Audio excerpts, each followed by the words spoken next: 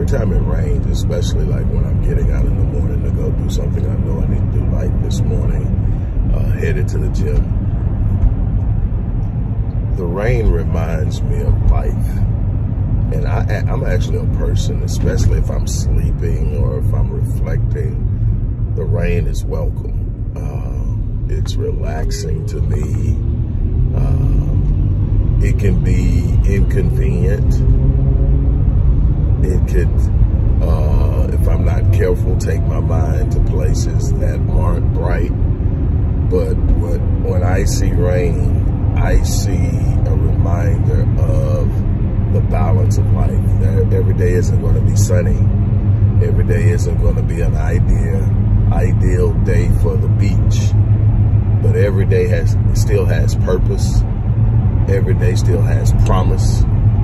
And the thing you have to be willing to do uh, is have the discipline and the belief to get up in your rainy days and still put in the work Get up in your rainy days and still be thankful. Get up in your rainy days and still push forward, understanding that it's those days when you put in the work where there isn't a clear vision of the promise. There isn't a clear um, reminder of the promise. Make your rain your reminder. Make your challenge your reminder. Make your obstacle your reminder. Make the people talking behind your back your reminder. Make the things that you are looking at now as a negative a reminder of where you're going, a reminder of what you're capable of, a reminder of the possibilities and the potential of every moment. You have 86,400 seconds in a day. How you engage each of those will determine the outcome of your life. Let that rain remind you that time is the one thing you don't have to throw away. Wake up, make up in your mind whether it's rainy, whether it's sunny, whether you wake up to uh, great news, whether you wake up to horrible news, whether you went to sleep last night with all kind of things going on that had you shook. You've got to get to a point where your faith is so strong that you become unshakable, that you become unbreakable, that you become unstoppable. And that means that even when the rain comes, you're not shook, you're not pushed back, you're not taken off guard. You just simply gear up and do what you're supposed to do in the rain. That's the thing that I want you to take with you today, that every day has promise. Every situation, no matter how it looks, has the capacity to take you somewhere higher. You got to learn how to frame the situation. You've got to learn how to frame uh, the circumstance. Circumstances and situations are temporal. They're there for a reason. Learn how to use them. Learn how to view them. Learn how to engage them because those are the things that take you higher. Eagles fly higher than any bird, any other bird in, uh, in the world and it's because they do something that other birds don't do. They fly into the wind. They fly into the tempest. They fly into it. Why? Because it's that resistance of flying into it that takes them higher. When you roll with the wind, you roll where the wind goes. When you learn how to move against the wind, you let the wind raise you higher and higher. So you take your adversity and use it as a force of elevation. You got to learn how to become transcendent in that way. Look, I have been working with people, man, for decades, helping them change their lives, helping them become better, helping them become uh, more effective in whatever whatever it is they are looking to achieve. I've worked with athletes, I've worked with CEOs, I've worked with small business owners, I've worked with individuals coming out of uh, broken situations. I've dealt with some people who are struggling with major trauma. And I'm telling you, everybody has a gift. Everybody has a fire within them. Some people, it's been snuffed out but the blaze can be relit. Vision can be dusted off. You can move in ways you never thought, but what you've got to do is have the discipline to wake up every morning and go get it. What you have to do is be able to see yourself being successful. That's why I created the Visionetics concept and started the Visionetics Institute is because if you can't visualize it, you can't have it.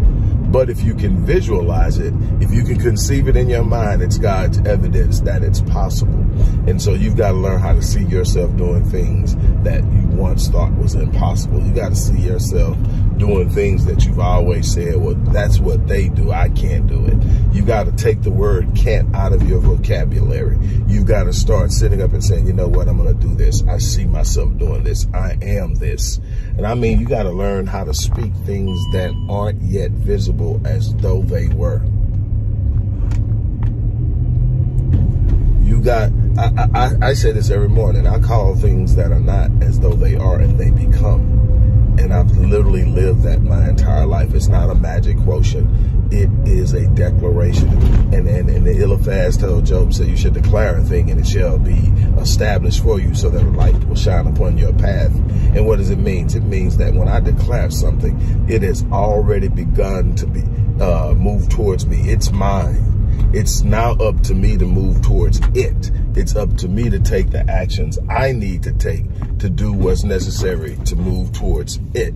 It's in those moments when you make that declaration so powerful in your life that you already know you have it. And I'm not talking about some weird cantation type way. I'm talking about the true nature of faith. I'm talking about what faith is really meant to be. Faith is really meant to be this thing that you sit up and say, I know it. I don't have to see it, but I know it. It doesn't have to lay itself out to me in some elaborate blueprint. I simply know it's going to happen. Trust your design, trust the designer, trust the system.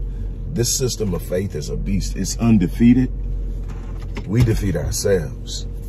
We defeat ourselves primarily by not even trying. Second of all, we defeat ourselves by giving up too soon. Um, we defeat ourselves by allowing other people to whisper the sweet nothings of negativity into our ear. We have to get to a point to where we are no longer defeating ourselves and we're standing in our gifting. We're standing in our purpose. We're operating at the height of our design. We should be living life daily at the level of our design. It doesn't mean things won't go wrong. It doesn't mean that things won't happen. It doesn't mean you're not going to experience setbacks. What it means is you're never shook by any of those things because you know where you're going and you know that in time you're going to be there. One of the things I say consistently is that it's my relentlessness that has gotten me to the place that I am now. All the things that I've been blessed to accomplish I got there because of my relentlessness. People will talk about the different things they see in me as assets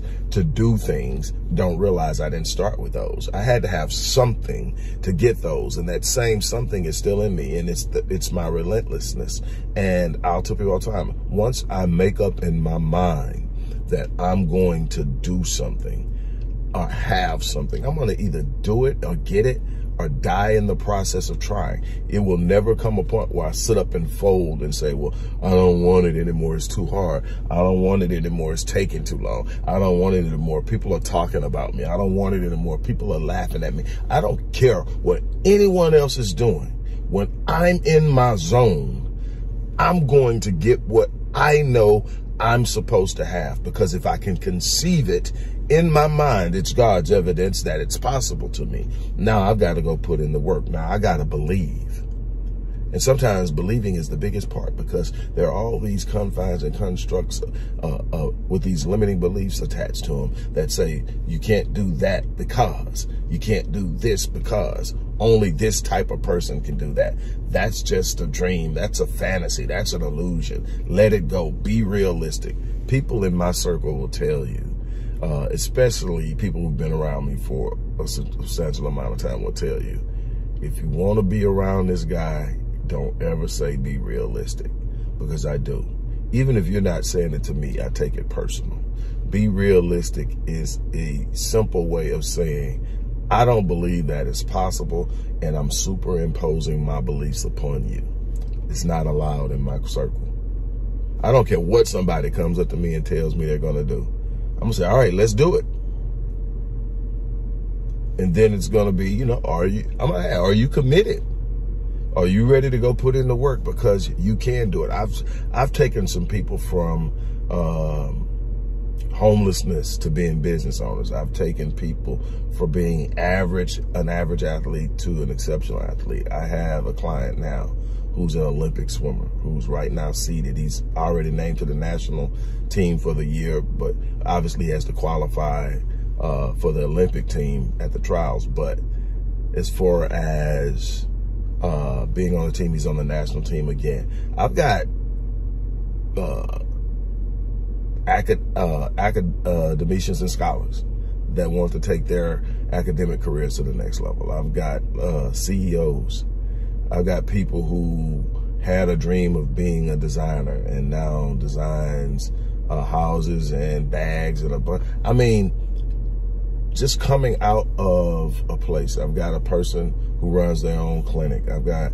a person who uh, became an investor. I mean, it's nothing you can't do. And a lot of times people will come come to me what I call colorless dreams and dwarf goals they're coming with something they've tamed so that it appears realistic, not just to themselves, but to anybody that they may share it with because they don't want to sound foolish. They don't want to, man, if, if, if my vision don't make you look at me like I'm crazy, I'm not dreaming big enough. You, those who follow me know my favorite quote by Steven Furtick. If the vision that you have for your life isn't so huge that it intimidates you, there's a good chance you're insulting God. God didn't design you to be average. God didn't design you to be mediocre. God didn't design you to just simply sit around. What are you doing? How are you seeing the world? My goal when I work with clients is to start at the core. I want to really reconstruct.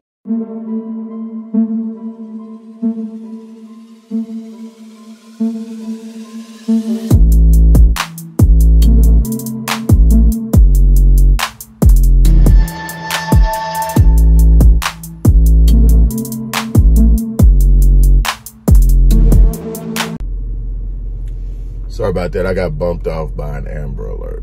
But like I said, my job, my, my number one goal is to literally create a situation where I'm reconstructing the self-image because you'll never do anything more than you see yourself being.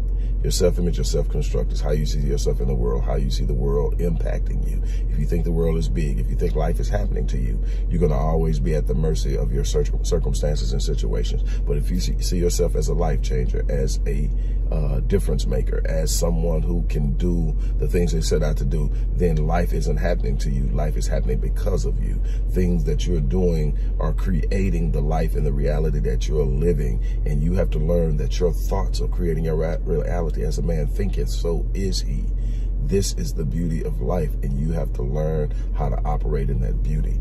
Look, in the in the box, there's going to be a couple of links. There's going to be a link to where you can work with me, um, and it's going to be to my primary uh, page for my packages to work with me.